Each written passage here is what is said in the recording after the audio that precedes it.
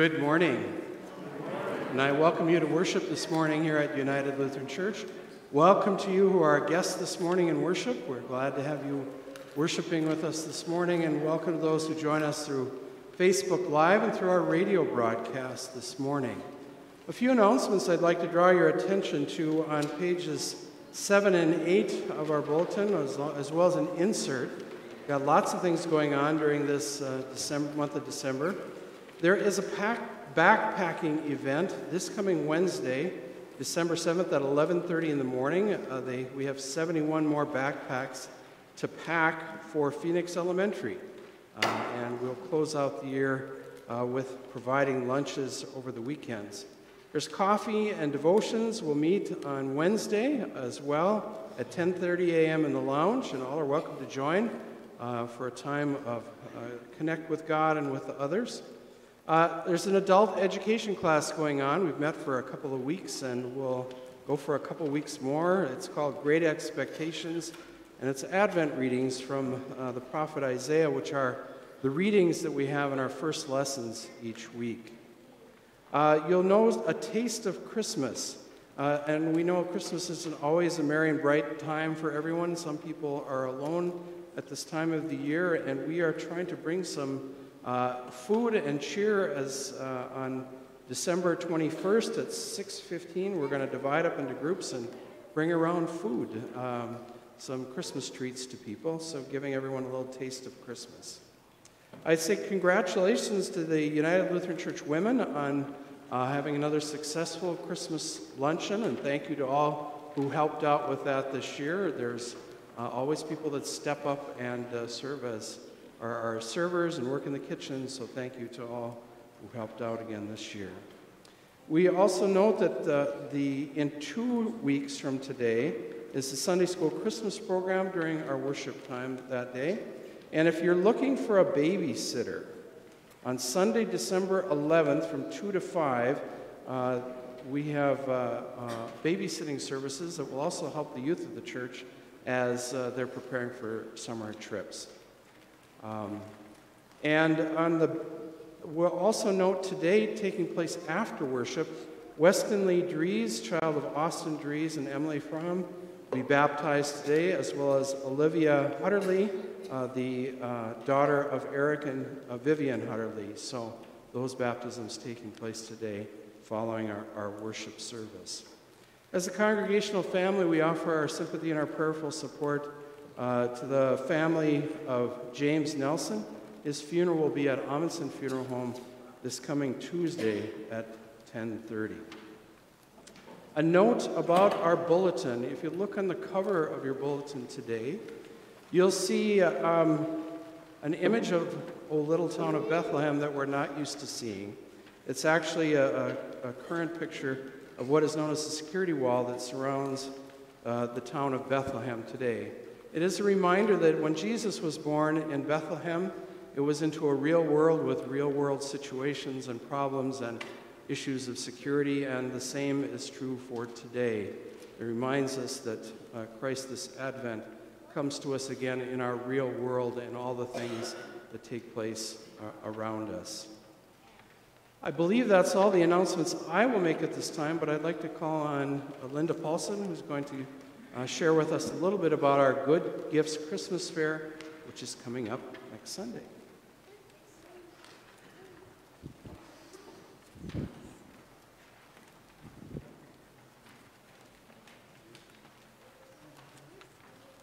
Good morning. I am here to talk about the Good Gifts Christmas Fair. Uh, hopefully, you all have a bulletin, and there's an insert there with a lot of information about it. Uh, there's an order form which you can take home and look at and send a check into the office or mail it if you'd like to order that way. You can go online and read about gifts available and um, charge them to a credit card. Or, better yet, you can join us next Sunday in the Fellowship Hall following the service for the Good Gifts Christmas Fair. We'll have it set up with displays and lots of information about the gifts, and we'll also have chili and cookies and coffee for you to enjoy. So I hope you can come. I wanted to talk a little bit about the gifts that are offered this year. Um, if you look at the order form, towards the bottom are ELCA good gifts. Those are called God's Global Barnyard. And a person can buy a cow, a chicken, pigs, and give to that person who just has everything. It's a fun gift, and we've had this on our list since um, our first Christmas fair many years ago. Uh, another area that we have are local gifts, and that goes very close to home across the street, Phoenix Elementary School. And there are two areas there. There's a principals fund, which helps families, many of whom live in poverty, with emergency problems and uh, just helps out where needed for children and the families at Phoenix. And we also have an area where you can support our backpack program, uh, helping to pay for the food that goes home once a month for the weekend for children who need it. So those are all good gifts. Um, towards the top, we have something called Gifts to Africa, and those are a little different this year, so I wanted to talk about them. Our church has a close connection with missions in Africa, in Tanzania. We've had four different missionary trips there over the years, and our contact has been Dr. Mark Jacobson, a medical missionary there for more than 40 years. Mark died in February of this year of a brain tumor. And those of us who knew him far and wide do not want his mission and the projects he began to fall away. We want to continue to support them. So these gifts support projects that the Jacobson family has recommended. Um, the first one is an endowment for medical school scholarships in Tanzania. And this would be, it's an ambitious goal. They want to raise $1.1 million. And the money from this fund, they would use the interest and dividends to support five medical students in Tanzania per year. It also would support some of the work that Linda has done with children and widows in Tanzania. Um, looking at the statistics, the doctor to patient ratio in Tanzania is 1 to 20,000. The uh, World Health Organization recommends at least one to 4,000 people would be more, would be better. So there's a great need for doctors in Tanzania, and this is one way to help that happen. The second area is Selian Hospice, and those of us who traveled to Tanzania always went on hospice visits. This was a very special visit with a nurse, an evangelist, maybe some volunteers, and I always felt entering someone's mud hut who was at the end of life, supported by these people, I was standing on sacred ground. It's very moving experience. Dr. Jacobson started the hospice early on when he was in Africa because many people were dying of AIDS and many of these people were dying alone because people were afraid of AIDS and they were afraid of getting the disease. So he developed hospice, the Selian hospice, and it has spread throughout Africa now. So that's a wonderful thing to support. And the third area is called Foundation for Cancer Center in Tanzania, another project Mark started knowing that there were many people with cancer who needed help in Tanzania, and um, it's just unfortunate that Mark contacted cancer himself. Uh, so anyway, I invite you to take this home, look at the order form, think about it, pray about it, and give a gift from your heart this Christmas. Thank you.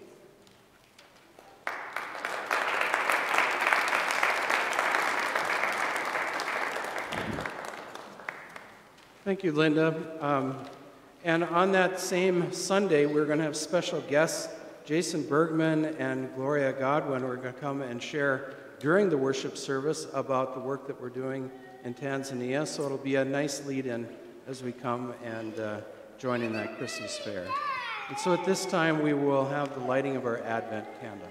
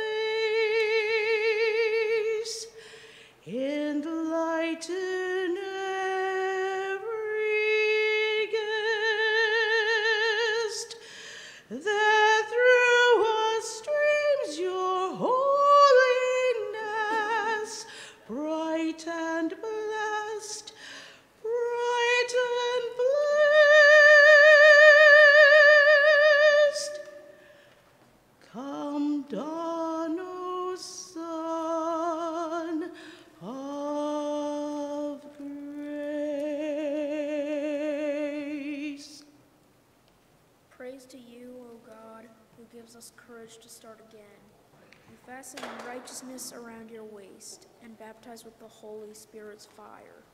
Bless us as we mirror your mighty fire in these simple flames, and teach us to mirror your justice in these paths we prepare. We ask that peace abound until none hurt or destroy over all the earth. Amen.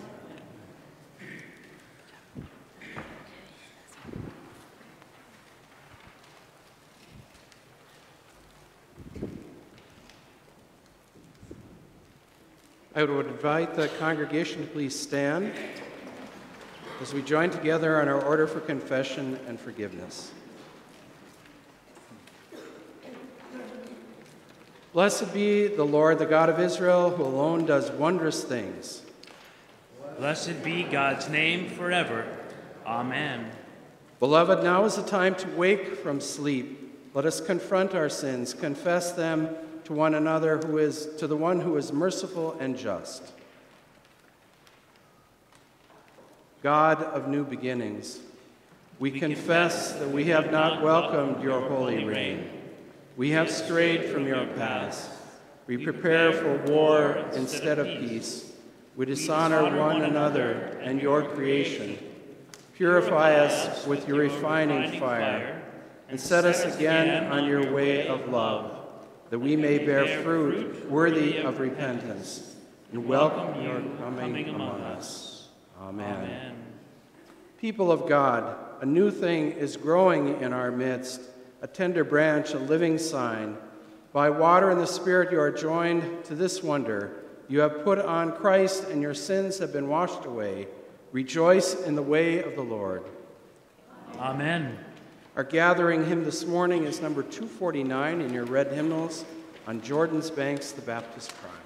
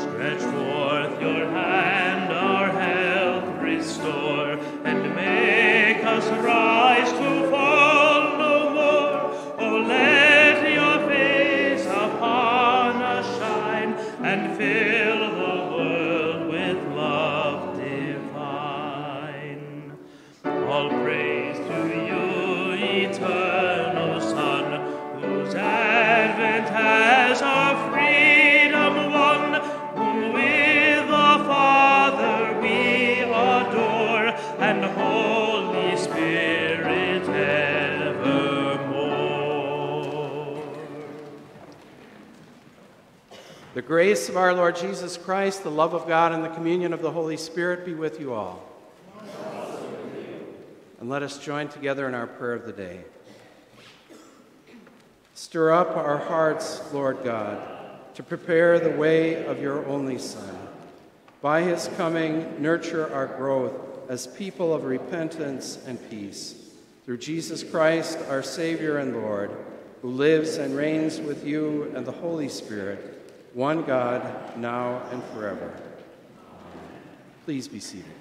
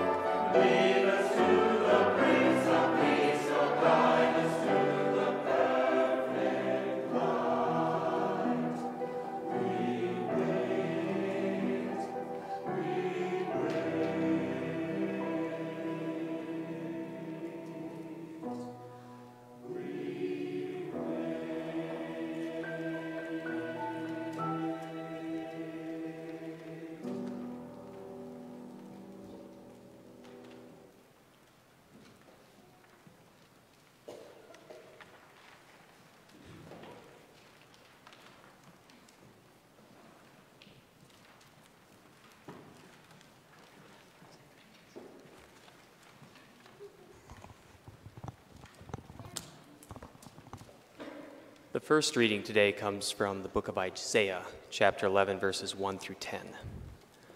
A root shall come out from the stump of Jesse, and a branch shall grow out of his roots. The Spirit of the Lord shall rest on him the Spirit of wisdom and understanding, the Spirit of counsel and might, the Spirit of knowledge and the fear of the Lord. His delight shall be in the fear of the Lord. He shall not judge by what his eyes see or decide by what his ears hear. But with righteousness he shall judge the poor and decide with equity for the meek of the earth. He shall strike the earth with the rod of his mouth, and with the breath of his lips he shall kill the wicked. Righteousness shall be the belt around his waist and faithfulness the belt around his loins. The wolf shall live with the lamb, the leopard shall lie down with the kid, and the calf and the lion and the fatling together, and a little child shall lead them.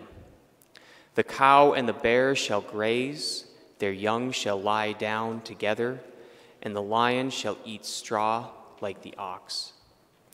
The nursing child shall play over the hole of the asp, and the weaned child shall put its hand on the adder's den.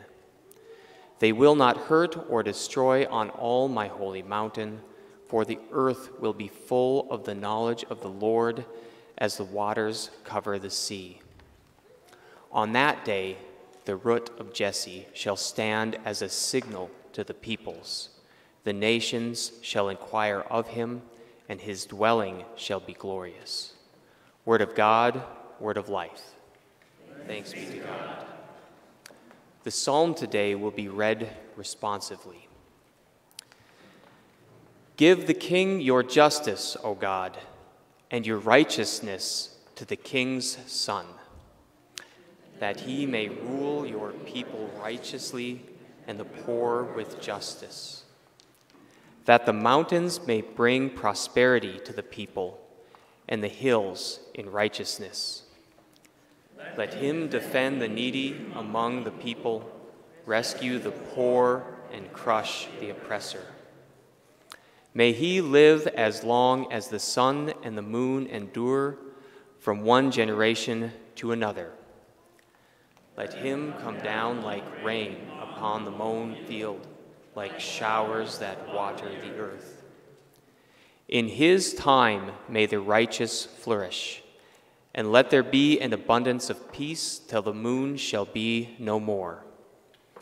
Blessed are you, Lord God, the God of Israel, you alone do wondrous deeds. And blessed be your glorious name forever. And may all the earth be filled with your glory. Amen. Amen. The second reading today comes from the book of Romans, chapter 15. Whatever was written in former days was written for our instructions, so that by steadfastness and by the encouragement of the Scriptures we might have hope. May the God of steadfastness and encouragement grant you to live in harmony with one another in accordance with Christ Jesus, so that together you may be one voice, glorify the God and Father of our Lord Jesus Christ. Welcome one another, therefore, just as Christ has welcomed you, for the glory of God.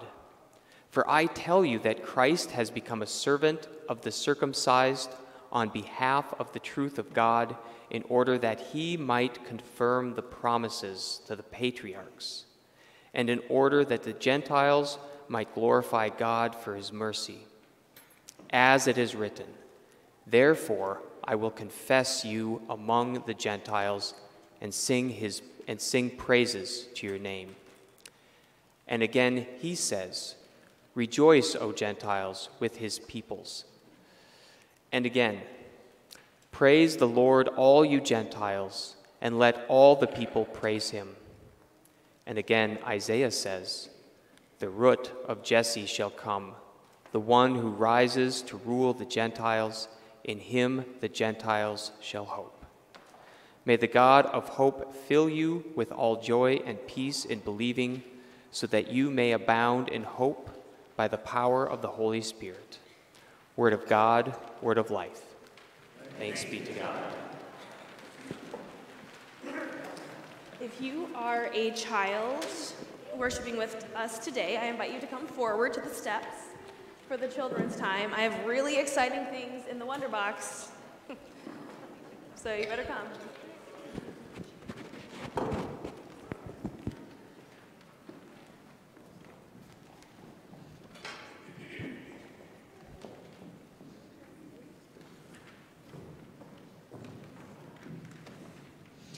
All right, everyone. It is week two of Advent. Which means we lit, lit two candles on our Advent wreath over there. You can all turn and look. And it's week two of waiting and hoping and anticipating the birth of Jesus. Now, when I was a child, I, I began to hope more as we got closer to Christmas, right? I hoped for a new Barbie. Then I hoped for a karaoke machine, and it seems that every year I hoped for a horse, because I was like really into horses, but I didn't live on a farm. I don't know what that came from.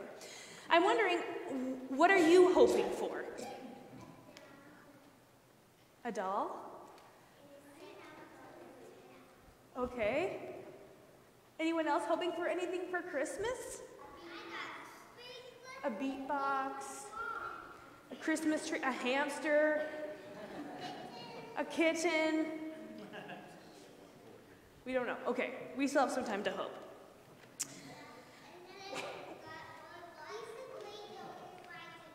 Legos, nice. Okay, so today we learned something in Sunday school about a different kind of hope. Hope is trusting in God's promises to us. So it's not a gift that we can receive, like in our hands, like a Barbie, but it's trusting, hope is trusting in God's promises. So today I brought with me this wonder box that we use during Sunday school with something different inside. And we are thinking about this guy named John the Baptist. So, something in this box has to do with John the Baptist. Raise your hand if you remember anything at all about the guy named John the Baptist. Okay. Evie, what do you remember? He baptized Jesus. Nice memory. Yes. John the Baptist was an odd man, and he lived in the wilderness away from everybody else. And he didn't really fit in with the popular kids. And we're going to learn more about that when we figure out what's in the box. So, Violet, do you seem eager? Come here.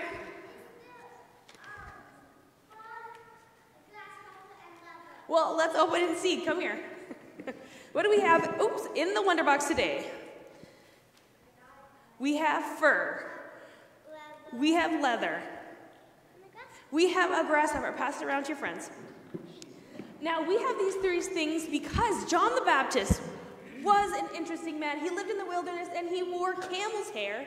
He ate bugs. He wore a leather belt and he lived off of honey and bugs.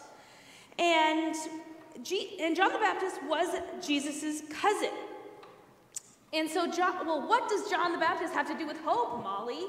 Well, the story begins in the wilderness. John the Baptist is telling people, gathering people in. Imagine him in the camel hair. He's saying, Repent, repent, turn away from sin and turn towards God. Jesus is coming, get ready, Jesus is coming. And repent means, okay, Violet, you can sit down. Thank you. Repent means to change your behavior, turning away from something harmful. Someone told me it's kind of like making a U turn. Like you're driving in the car, ooh, change directions. So John is telling people, repent, because he, it's out of God's love. He's saying, God wants the best for you. Repent, change your ways, be baptized. Jesus is coming. Jesus is coming to heal people. Jesus is coming to care for people, to teach us how to live, and ultimately die on the cross and rise again for us. So we find hope in the message that John the Baptist tells us today. Jesus is connecting us to God. In the Bible, we also hear this story, the scripture from Isaiah, and it tells us that one day the whole of God's kingdom will cover the earth with justice and peace. There will be no hurt or the feeling of being afraid. People will be getting along. There will be no bullying or homelessness or broken relationships. I wonder what a world it would be full of love and fairness and peace. And so, as people of faith, as Christians, like all of us today, we find hope in making this place a better world and hope to be with God someday. So, because we hope, we can count on these promises and we can do our part to making the world a better place, this promise on earth today. So, let's, pr- will you pray with me? you can Close your eyes, you can fold your hands. Gracious God, we thank you for hope that you bring into the world through Jesus. We thank you for promising to be with us now and always. We ask that you open our eyes to see you in our lives and treat all people with love and care.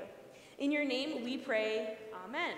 Amen. All right, you can go back to your seat. We'll get the things back. You may rise for the gospel.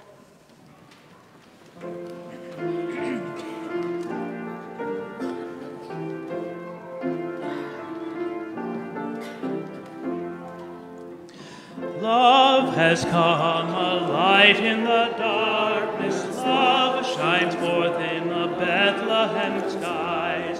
See, all heaven has come to proclaim it. Hear how the song of joy arises. Love, love, born unto you a Savior. Love, love, glory to God on the high.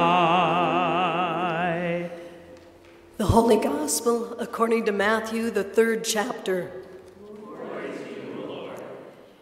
In those days, John the Baptist appeared in the wilderness of Judea, proclaiming, Repent, for the kingdom of heaven has come near. This is the one of whom the prophet Isaiah spoke when he said, The voice of one crying out in the wilderness, Prepare the way of the Lord, make his path straight. Now John wore clothing of camel's hair with a leather belt around his waist, and his food was locusts and wild honey. Then the people of Jerusalem and all Judea were going out to him, and all the region along the Jordan, and they were baptized by him in the river Jordan, confessing their sins. But when he saw many Pharisees and Sadducees coming for baptism, he said to them, You brood of vipers, who warned you to flee from the wrath to come? Bear fruit worthy of repentance. Do not presume to say to yourselves, We have Abraham as our ancestor, for I tell you, God is able from these stones to raise up children to Abraham. Even now the axe is lying at the root of the trees. Every tree, therefore, that does not bear fruit is cut down and thrown into the fire. I baptize you with water for repentance, but one who is more powerful than I is coming after me. I am not worthy to carry his sandals. He will baptize you with the Holy Spirit and fire. His winnowing fork is in his hand, and he will clear his threshing floor and will gather his wheat into the granary, but the chaff he will burn with unquenchable fire. The Gospel of the Lord. Praise to you, O Christ. Please be seated.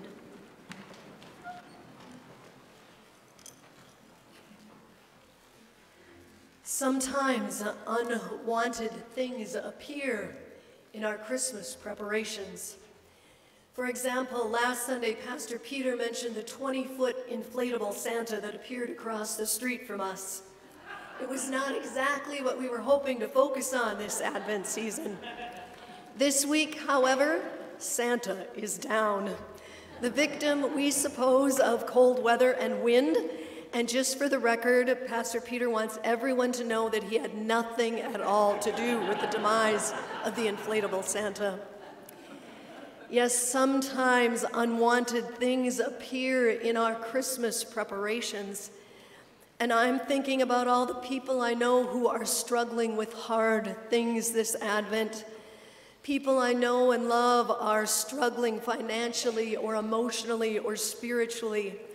Those who are facing significant health challenges, those who are grieving or lonely, and I haven't even named yet the hurt and horror in our larger world, a war that continues in the Ukraine and in many places around the world, too many hungry children, and continued acts of hate and violence right here in our own nation.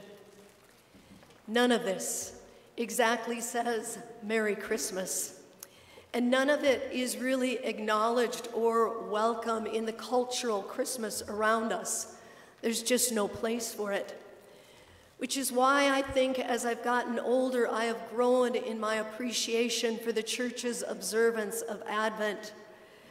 When we're little, It's all about rushing toward the joy of the Christmas celebration, and that's beautiful. It really is. But I'm older now. I have wept, grieved, lost, and now I want to hold space for the ones who are hurting. I'm waiting for all things to be made right, and I suppose we all are. Advent, this holy season makes space for our longing, our waiting, our admission that all is not well. Advent doesn't simply force us into joy as if joy could be forced. In Jan Richardson's Advent devotion book, Night Visions, she opens with this quote In this strange season, when we are suspended between realization and expectation, may we be found honest about the darkness and more perceptive of the light. I want to be honest about life. I want to be awake to the light. There's no way around many of the unwanted things in our path this Advent. And I suppose who could be more unwanted on the way to Christmas than John the Baptist? I mean, really. He shows up dressed in camel's hair with a leather belt around his waist, and there's locust legs caught in his teeth, and he's name calling. Nothing says Merry Christmas like you brood of vipers. Wouldn't it be better, maybe, if we just skipped over John the Baptist and went right to Mary and Joseph and that beautiful newborn, all of them bathed in starlight with the sound of angels singing overhead? Do we really need to spend time with John now? The crowds were traveling out to the wilderness to see him, to listen to his message, to receive his baptism. And yet, everything that I know about him makes me think I would have gone out of my way not to see him. And so it's interesting that all four of the gospel writers who tell their sto- the story of Jesus, of all four, there's only two of them, Matthew and Luke, who decide that it's necessary for us, the readers, to hear the story of Jesus' birth. In Mark and John, there are no angels, no shepherds, no young couple about to become parents. But all four gospel writers determine that it is essential to the story of Jesus that we encounter John the Baptist standing knee deep in the Jordan River. John the Baptist stands before us in Advent with the clear message that all is not right. Neither we nor the world is as it should be. And that is why we need the one God is sending into this world. I suppose the people coming out to see John knew that all was not well, also. Otherwise, why would they have made that trek out into the wilderness to hear what he had to say? John's name calling is reserved for the Pharisees and the Sadducees, those who uphold the status quo. John isn't critical of them because they're Jewish. John is a faithful Jew like them. Rather, John reserves his harshest criticism for them because these particular leaders collaborate with the oppressive leaders uh, and a system that benefits them, gives them a comfortable lifestyle and relative security at great cost to others. John seems quite short on details about the one who is coming. But John knew that this old world was about to come to an end and a new world was spinning toward them, carried in the arms of God's chosen one. It was a world that would be built out of new materials, not the rearranged stones of old systems. John is clear that the one who is coming is so significant that nothing less was required than to repent and to prepare. That word repent is often troublesome for us. We imagine street preachers screaming, trying to scare us into better moral behavior in an effort to avoid hell. But the word repentance literally means to change one's mind. And biblical scholars describe it more broadly as reorienting, reordering, or recentering. The essence of John the Baptist is that we need to reorder our lives, our values, reset our priorities, and return to God. Because the kingdom of God is coming into the world in a new and powerful way in God's promised one. This season, our Advent theme is turning toward Bethlehem. And I, our hope is that this theme is heard as an invitation to not become so distracted or busy or exhausted that we miss what God is up to in the one born in Bethlehem. Advent is about turning toward Bethlehem and aligning our lives with the one who is born there and with God's dream for all the world, for all creation. Descriptions of God's dream for this world are found throughout the scriptures. And one beautiful illustration of God's dream can be found in our reading from Isaiah. It's an Advent poem because it's about the coming one. The passage is often referred to as the peaceable kingdom. Here we see that God's dream for this world is for it to be a place in which peace and equity rather than fear and hatred rule the day. God's dream for this world is for it to be a place where we view each other with compassion and love.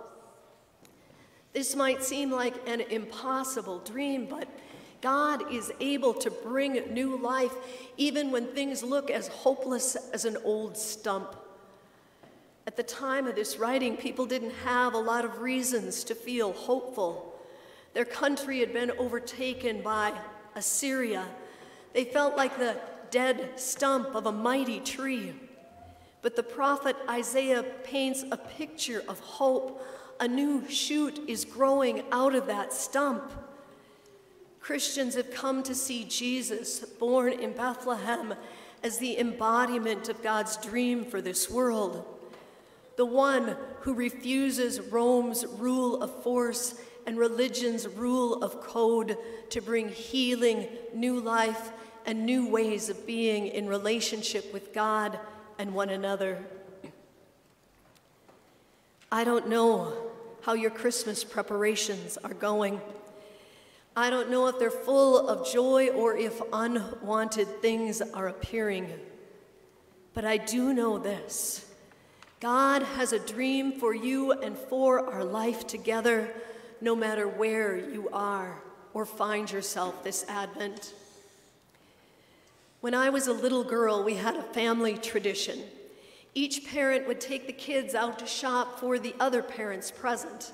And being the oldest, I made it my job to have a list of possibilities before we went shopping so I would go to my mom and I would ask her for gift ideas, and she would give me the list that I expected practical things, available things, something that we could afford.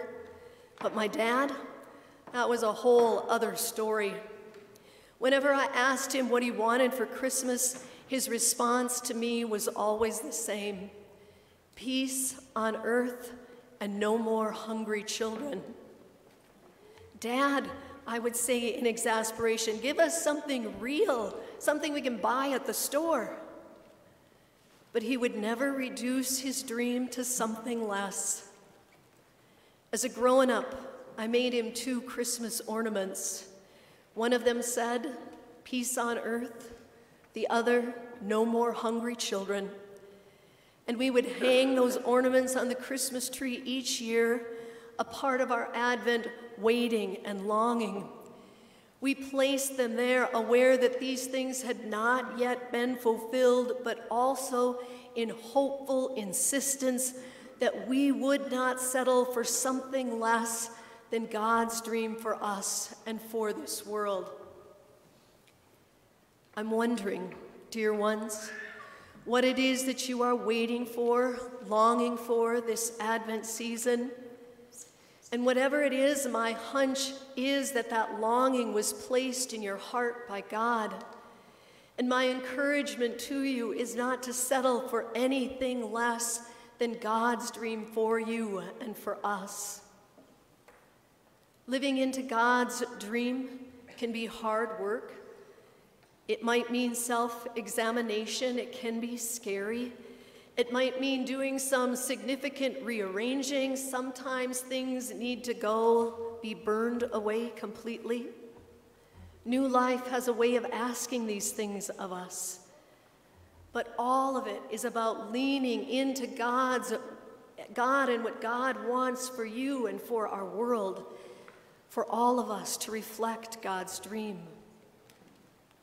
Living into God's dream might look like leaning into community when you'd, you've become much more comfortable just being by yourself. Or it might mean loving and caring for the body that you're in rather than punishing yourself to achieve unrealistic ideals. It might mean challenging those messages in your head that tell you that you're not worthy or that God couldn't really love you. It might mean doing less rather than more, knowing that you're deserving of rest. Or it might mean letting go of punishing yourself for past wrongs. It might be listening to and living out the new truths that you're coming to see rather than just taking the path that everyone expects of you. Whatever it is, step toward God's dream for you, for us. And don't worry if that step seems very small or as unrealistic as a leopard lying down by a kid. Remember, the Spirit of God creates world changing disciples out of a small band of fearful, ordinary people and brings new life from a sealed grave. God gets to work in small things things that might seem insignificant, like a newborn baby, or shepherds on the night shift, or a young woman and her frightened fiance. God continues to be at work in our lives, in water, in bread and wine, and in ancient words. In all these ways and more, God is calling us to live into God's own dream, stepping toward the one who comes to be with us in Bethlehem. Amen.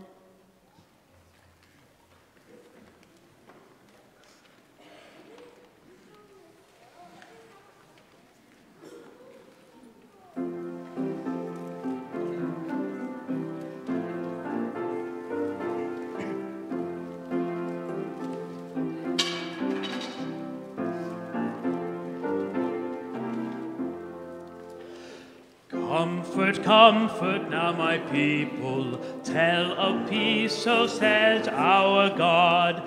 Comfort those who sit in darkness, mourning under sorrow's load. To God's people now proclaim that God's pardon waits for them.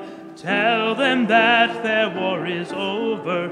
God will reign in peace forever. For the herald's voice is crying in the desert far and near, calling us to true repentance, since the reign of God is here. Oh, that warning cry obey, now prepare for God the way. Valleys rise to greet the Savior, hills bow down in humble favor. Straight shall be what long was crooked, and the rough of places plain. Let your hearts be true and humble, as befits God's holy reign. For the glory of the Lord now on earth is shed abroad, and all flesh shall see the token that God's word is never broken.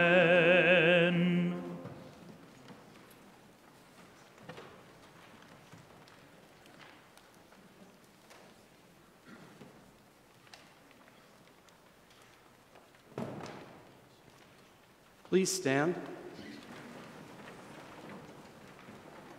The peace of Christ be with you always and also with you. Please share a sign of peace with those around you today.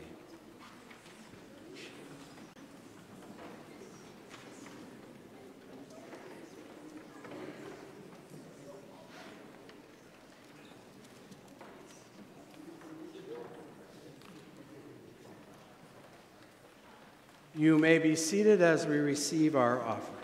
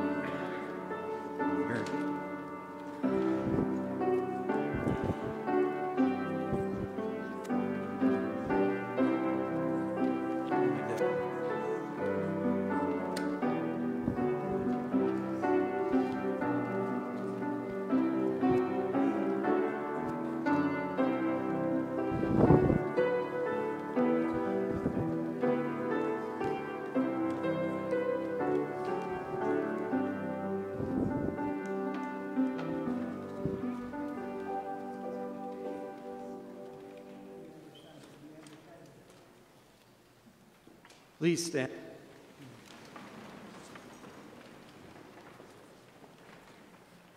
Let us join in singing our offering song.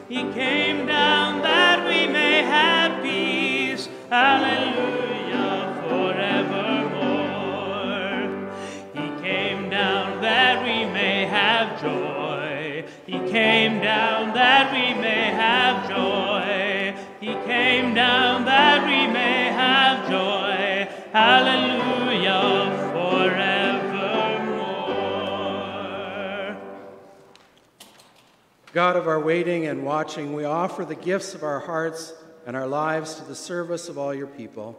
Prepare the way before us as we meet you in this simple meal. Through Christ Jesus, our pathway and our peace. Amen.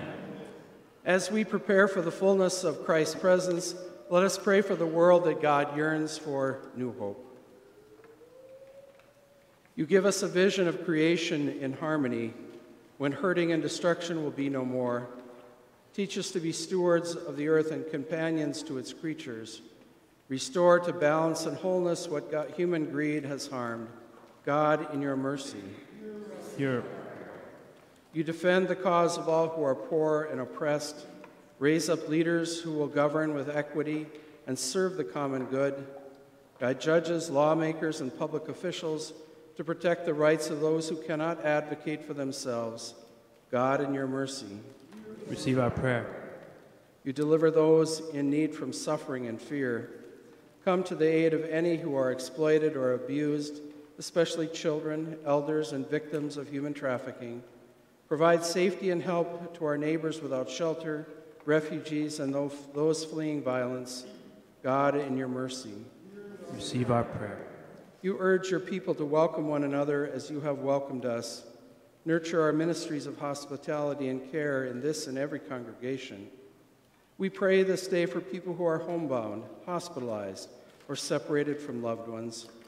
Especially this day, we pray for Elsie Ricky, Paul Santangelo, Darla Gunderson, Clara Beaton, Nicolette Carview, Dennis Heap, Mariah Kleiner, Karen Searsted, Lila Jane Nelson, and the loved ones of James Nelson.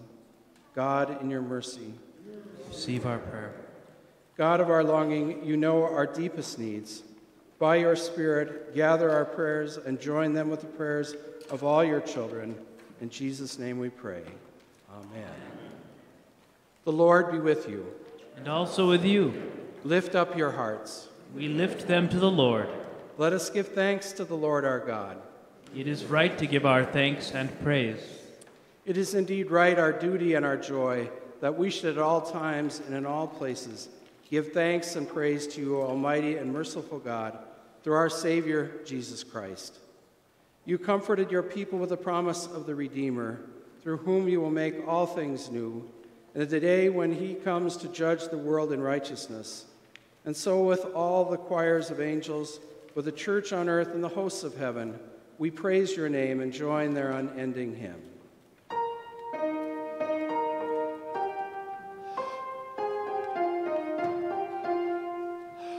Holy, holy, holy, Lord God of power, God of might, heaven and earth are full of your glory. Hosanna in the highest.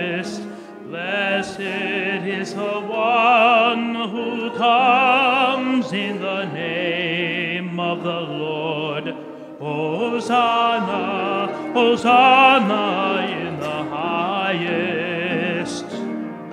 Hosanna, Hosanna in the highest.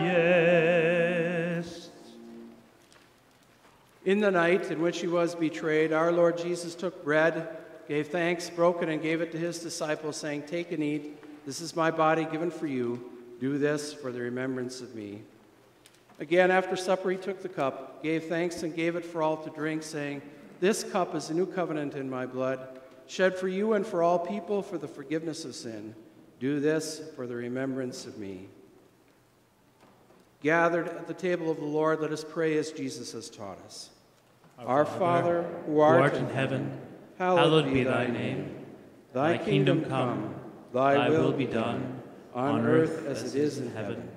Give us this day our daily bread, and forgive us our trespasses, as we forgive those who trespass against us.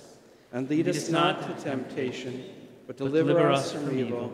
For thine is the kingdom, and the power, and the glory, forever and ever. Amen. These are the gifts of God for the people of God. Come, for all are welcome. You may be seated, and the ushers will direct you forward and with those assisting with communion, come forward at this time.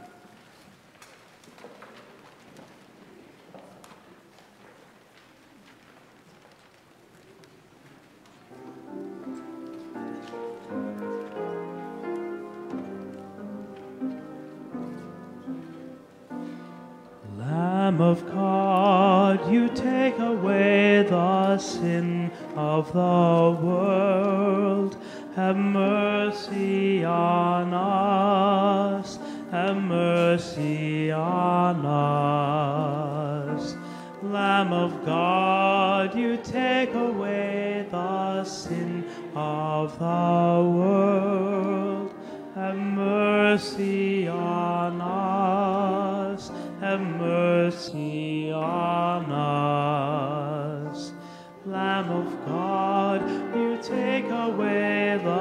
Sin of the world.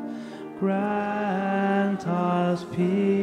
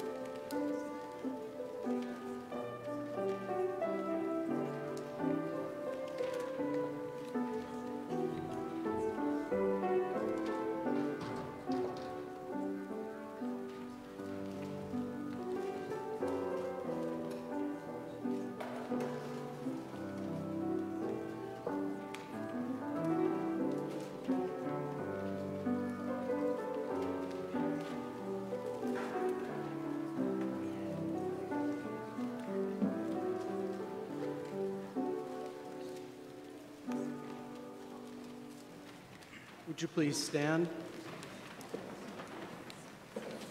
And now may the body and blood of our Lord Jesus Christ strengthen you and keep you in God's grace this day and always. Amen. Amen. Faithful God, in this meal you have remembered your mercy, bringing heaven to earth in the body and blood of Christ.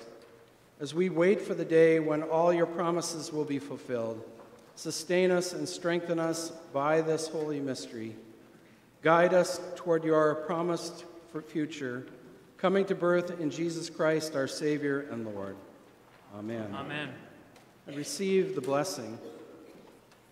God, the eternal Word, who dwells with us in Jesus and who holds us in the grace of the Holy Spirit, bless you now and forever. Amen.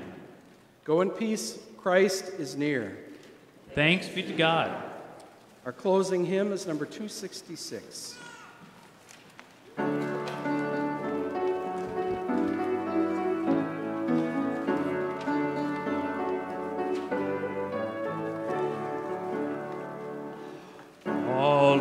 Hopeful, the Savior comes at last.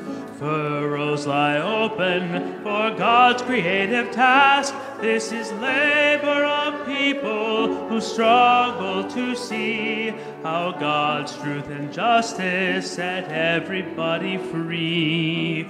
People of Israel, you heard the prophet tell. A virgin mother will bear Emmanuel.